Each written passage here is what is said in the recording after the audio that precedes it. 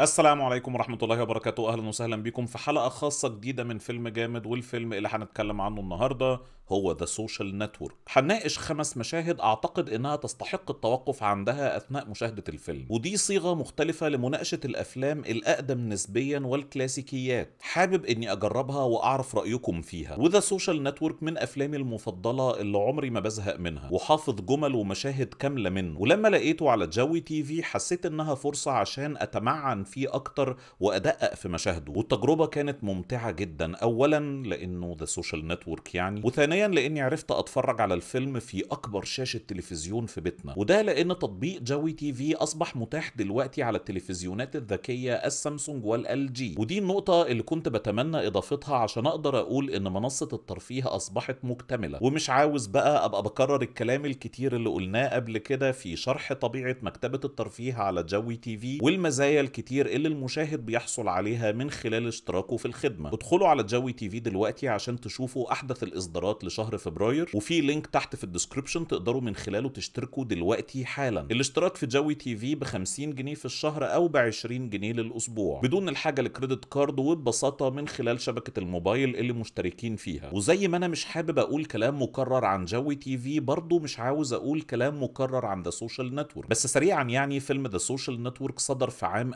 2010 وأحداثه بتدور عن قصة اختراع وإطلاق شبكة فيسبوك والصراع القانوني اللي أثير حول ملكيتها الفكرية. السيناريو لآرون سوركن عن كتاب The Accidental Billionaires لبن مزريتش والإخراج لديفيد فينشر. والبطولة لعدد كبير من الممثلين الشباب الواعدين وقتها واللي بعضهم أصبحوا دلوقتي نجوم صف أول بكل تأكيد. الفيلم ترشح لثمان جوائز أوسكار وكسب ثلاثة وعشان نفهم بس قيمة الثلاث جوائز دول لازم نفتكر الأفلام الأخرى اللي صدرت عام 2010 لأن دي السنة بتاعت Inception و The King's Speech و Black Swan و 127 Hours و The Fighter و True Grit وافلام تانية كتير جامدة جدا. يعني من الآخر كانت سنة صعبة. وموضوع الحلقة بتاعت النهارده هم باختصار خمس مشاهد من الفيلم. هم أكتر خمس مشاهد أنا شخصيا بحبهم. وعاوز أشرح ليه بحبهم وايه هي قيمتهم في نظري. وكتير من الآراء والتحليلات اللي هقولها ممكن تختلفوا فيها معايا. وده تمام جدا وصحي جدا ومقبول جدا بكل تأكيد. وقبل ما نتكلم عن أول مشهد بس عاوز أدي تحذير سريع بالحرق فاللي ما شافش فيلم The Social Network اولا أنت أكيد بتهرج. بس الأهم من كده أفضل تقفل الحلقة دي دلوقتي وتبقى ترجع لها لما تشوفه. مشهدنا الأول يعتبر درس في كيفية تصميم صدفة. ده مشهد بيجمع ما بين مارك زوكربيرج وإدواردو سافرين المكان هو غرفة مارك زوكربيرج في سكن الطلبة بتاع جامعة هارفارد والزمن هو مساء بعد أحد المحاضرات اللي الاتنين كانوا بيحضروها. المناقشة عن كيفية تحقيق ربح من موقع The Facebook اللي الاتنين أطلقوه والمناقشة واخدة شكل الخلاف بس مش دي النتيجة الرئيسية اللي عايزين نطلع بيها من المشهد. في نتيجة تانية أهم وهي إن إدواردو يكتشف الجواب اللي بيؤكد إن في نزاع حول ملكية فكرة موقع The Facebook إيه هي الطريقة بقى؟ أول ما الاتنين بيخشوا الأوضة إدواردو بيجري بسرعة على التلاجة وبيطلع إزازتين بيرة. مارك ما بياخدش باله من اللي عمله إدواردو بيروح يجيب لنفسه إزازة. هنا في رسالة ثانوية اتبعتت على جنب كده وكل مشاهد يفسرها براحته. بس دلوقتي وفي وسط الخلاف ده إدواردو واقف وماسك في إيده إزازتين واللحظة اللي بيدور فيها على مكان عشان يحط الإزازة هي اللحظة اللي بيكتشف فيها الجواب. أصلا ممكن كلنا نختلف إن دي ينفع يتقال عليها صدفة. يمكن السبب الوحيد اللي بيخليني أنا عن نفسي أقول عليها صدفة هي إن مارك زوكربيرج ما كانش ناوي يوري الجواب لإدواردو. ودي برضه رسالة ثانوية مهمة جدا كل مشاهد يفهمها براحته. وأثناء النقاش حول موضوع الجواب نفسه بيوضح إن مارك زوكربيرج مش قابل موقعه كمتهم. فلولا صدفتنا اللي ممكن ما تبانش على إنها صدفة إدواردو سافرن ما كانش هيعرف إن في نزاع على ملكية الموقع بتاعه. الصدف يا جماعة من أسوأ المواقف الدرامية الممكنة. لو ما حصلتش في الواقع اللي الفيلم بينقله صعب قوي المشاهد يصدقها. ورغم إن المشاهد اتعلم يقبلها بعدد معقول في أي عمل بس حدوثها تلقائيا بيخسر العمل بعض النقاط وحرفة تفاديها في مشهد زي ده بيكسب العمل بعض النقاط Now, is there anything that you need to tell me? No.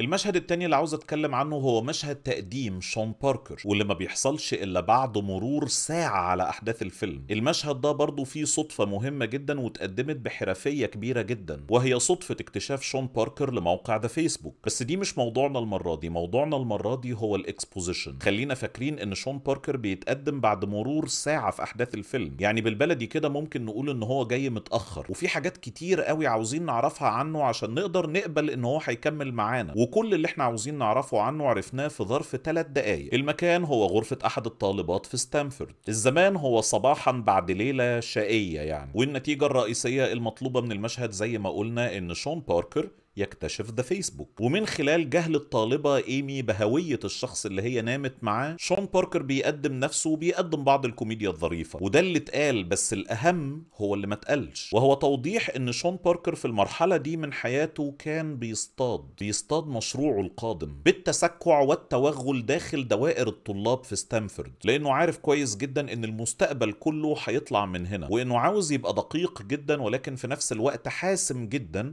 وهو بيختار فريسته بالظبط زي التعبان اللي بيحوم حوالين ضحيته. وده مش كلامي أنا ده كلامه هو.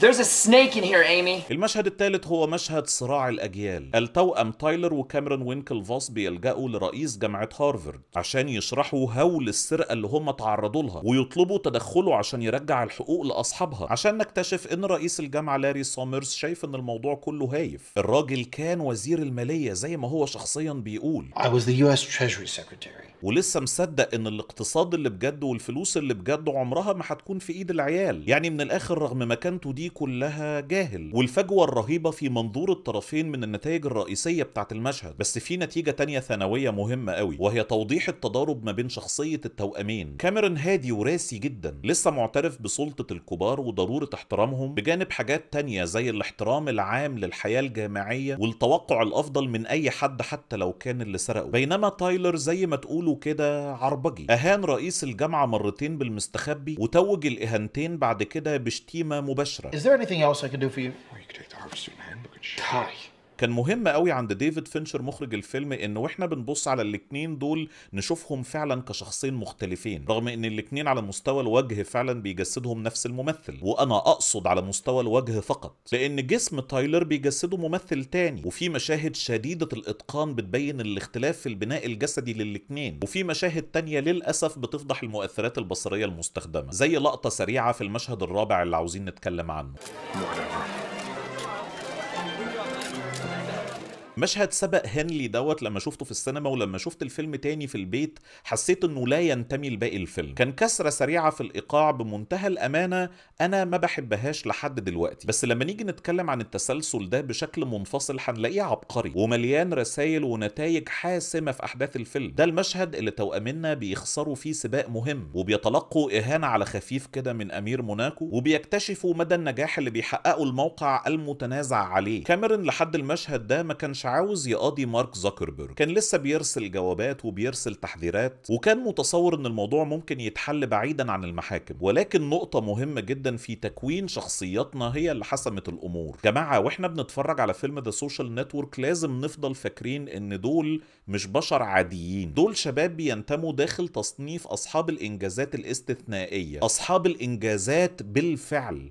مش لسه هينجزوا. وجزء مهم في تكوينهم ده هو علاقتهم بأهلهم. ورغم إدراكهم للفجوة الفكرية ما بين الأجيال لكن نظرة أهلهم ليهم بخيبة أمل تعد قاتلة. وأبوهم اللي بيرفض إنهم يحسوا بخجل عشان خسروا السباق ما بيقدرش يخفي خيبة أمله لما بيثار موضوع فيسبوك. والشعور تجاه الآباء ده من العناصر المهمة في المشهد الأخير اللي عاوزين نتكلم عنه. مشهد الفخ. إدراك إدواردو سافرين إنه تعرض لمكيدة. وده مشهد من عدد كبير جدا من المشاهد في الفيلم اللي فيها انتقال زمني ما بين الأحداث نفسها وما بين غرفة الاستماع وهي مش غرفة واحدة الحقيقة هم غرفتين. غرفة تخص النزاع الفكري على ملكية الموقع وغرفة تخص المقلب اللي لبسه إدواردو سافرين وهي دي الغرفة اللي تهمنا دلوقتي. آه يا جماعة فوز فيلم The Social Network بجائزة الأوسكار لأفضل مونتاج ما كانتش ضربة حظ. ده فيلم معقد جدا ومبدع جدا على مستوى المونتاج. والمشهد ده يعتبر دليل صارخ رغم إنه يعد من الأقل تعقيدا. إدواردو اللي كان بيتكلم في جلسات الاستماع بكل ثقة ما بيقدرش يخبي إحساسه بالعار لما بيثار موضوع المكيدة وما بيلاقيش طريقة يوصف بيها هول اللي حصل له إلا رد فعل والده